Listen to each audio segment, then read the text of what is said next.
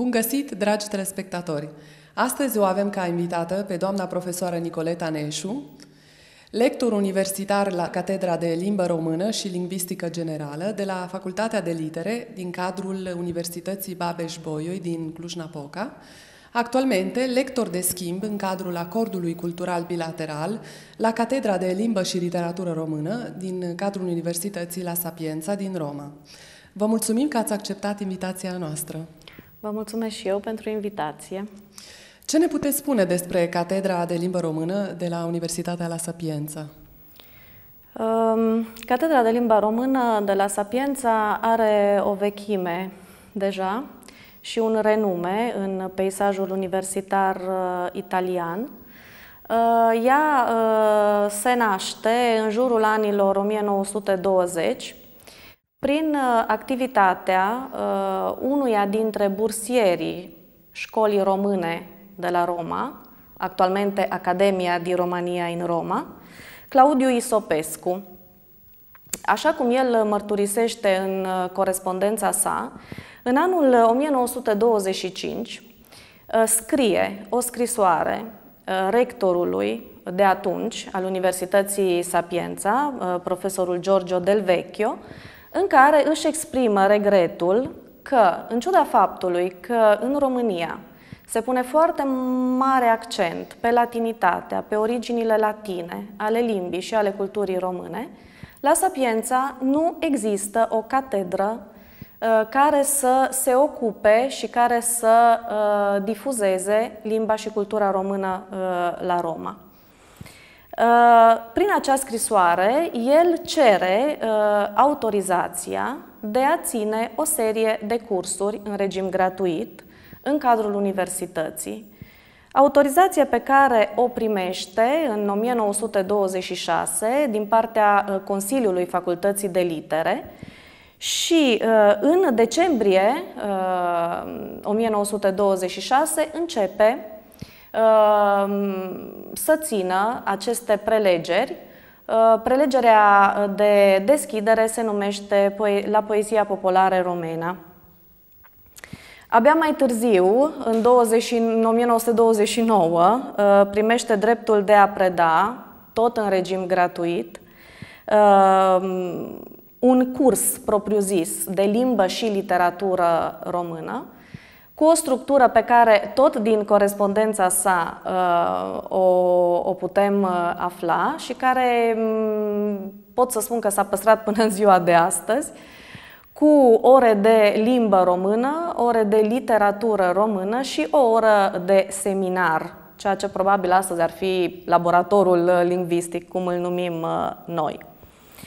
În orice caz, abia după 10 ani, în 1936, el uh, primește, uh, pe baza unei convenții stipulate între uh, cele două guverne, italian și român, primește titlul de profesor la Universitatea Sapienza și de atunci încoace catedra există și este vie și are o activitate extrem de bogată, spun eu. În care alte centre universitare din Italia se mai predă limba română? Uh, limba română se predă în multe centre. Dacă nu mă înșel, Italia și Franța sunt țările din Europa Occidentală cu numărul cel mai mare de catedre de limba română. Unele se bucură și de uh, existența unui lectorat de schimb, adică mm, statul român, uh, în cadrul acestor acorduri uh, între cele două guverne, asigură prezența unui lector de limbă maternă la catedră. Și catedrele care se bucură de această prezență ar fi, pe lângă catedra despre care am vorbit, este Catedra de Limba Română din, de la Universitatea din Torino, de la Universitatea din Padova, de la Universitatea din Pisa, din Milano și mai recent uh, de la Universitatea din Napoli și cea din, uh, din Calabria. Însă mai există catedre de limba română uh, la Cagliari, la Firenze, unde de asemenea cursul de limbă, de literatură există și funcționează. Deci suntem destul de prezenți. Da. Și Ce din alte... acest punct de vedere. Ce alte colaborări mai aveți? Prezența lectorului de limba română la Roma, să spunem că este destul de bine n-aș spune chiar uh, exploatată, dar într-un sens bun exploatată, în sensul că uh, există o tradiție. Lectorul de limba română de la Sapiența ține și cursurile pe care Academia din România în Roma uh, le oferă, cursurile de limba română, bineînțeles, le oferă uh, italienilor. Uh, de trei ani de zile, acesta este al patrulea an universitar în care, în urma unui proiect uh, al ambasadei uh, României pe lângă Sfântul Scaun, s-au început în mod timid niște cursuri de limba română la unul dintre institutele Vaticanului, Institutul Pontificio Orientale, uh, un centru de cultură iezuită foarte bine, bine cotat uh, la nivel universitar, unde noi uh, de trei ani de zile am început să ținem aceste cursuri de limba română în ideea de a organiza apoi o catedră uh, cu puteri de pline de cultură și civilizație românească, dar și teologică, bineînțeles, respectând profilul institutului. Uh, eu personal uh, am mai uh, ținut de data aceasta era o colaborare pe care Ambasada României în Italia împreună cu comune din Roma și cu o asociație profesională a Poliției Municipale. Am organizat în, în 2010 un curs intensiv de limba română pentru uh, polițiști, pentru vigilii urbani, perioadă de 3, 3 luni de zile. Și, în general, cine frecventează cursurile de limba română la Academie? La Academia din România, care funcționează și ca uh, Institut Cultural Român, uh, Sigur, uh, uh, publicul este foarte variat și ca vârstă, și ca pregătire intelectuală și profesională, și ca finalitate a cursului. Uh, ce să vă spun, de la tineri studenți de 20-25 de ani până la persoane adulte de 70-75 de ani, Uh, repet, interesele variază. Am avut uh, foarte multe mm, cazuri de uh, persoane care veneau să învețe limba română din motive strict profesionale, în sensul că ori își deschideau o afacere în România, ori urmau să lucreze la instituții italiene prezente în, în România, magistrați, carabinieri, inclusiv din corp diplomatic. Uh, am uh, întâlnit mulți profesori, profesori de italiană sau de alte limbi romanice, care uh, încearcă să-și apropie și limba română în această categorie, în acest context romanic. Sunt multe persoane care o fac și din plăcere și din cultură generală și sunt iarăși foarte mulți care o fac din motive personale, sensul că Mm, ori au rude uh, care s-au căsătorit în România, ori ei înșiși, aici trebuie să recunosc că majoritatea sunt de sex masculin, sunt uh, căsătoriți cu românce. În privința limbii române actuale, care este situația limbii române vorbite în afara României? Asta este un punct nevralgic, pentru că eu, ca lingvistă, sigur, trebuie să exprim o părere profesională și să spun cu un mare regret uh, că um, asistăm uh, la o, mm, nici nu aș putea să spun, o, o diminuare a competenței uh, expresive în, în limba română, care, sigur, biologic, fiziologic și chiar și psihologic poate avea foarte multe cauze. Sunt unii care refuză chiar refuză recunoașterea originii române. Nu stau acum să discutăm aici care sunt cauzele, pot fi de înțeles sau poate nu sunt de înțeles. Dar este un fenomen lingvistic de abandon total al limbii materne la un pol.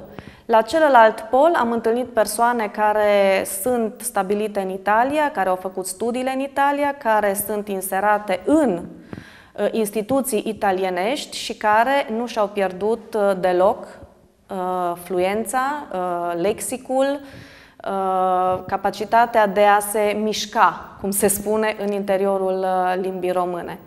Din păcate, la mijloc, Mm, ar fi o categorie și asta mai ales a tinerilor, care, fiind aduși aici uh, de mici, de către părinți care au venit să muncească în Italia, nemai vorbind limba română corectă, nemai având contact nici cu televiziunea, probabil nici cu, cu ziarele, nici cu cărțile, și asta este probabil cazul cel mai uh, frecvent, și-au pierdut uh, efectiv nu doar capacitatea de a se exprima în limba română, dar uh, asistăm la această invazie a, poate le putem numi cu un termen tehnic, barbarismelor, adică iei cuvântul din italiană, îl uh, pui în limba română așa cum este, dar îi dai un articol tipic românesc care nu-l mai face să aparțină nici, nici italianei, dar nici limbii române. Și asta, din punct de vedere al unei ecologii lingvistice, uh, este probabil uh, cel mai grav. Atunci, cum putem să ne păstrăm uh, o limbă română cât mai corectă? Sfatul meu pe care îmi permit să-l dau studenților români Uh, dar este sfatul care mm, se dă în general tuturor celor care nu vor să piardă contactul cu orice limbă, mai ales cu limba maternă, este să mențină viu acest contact.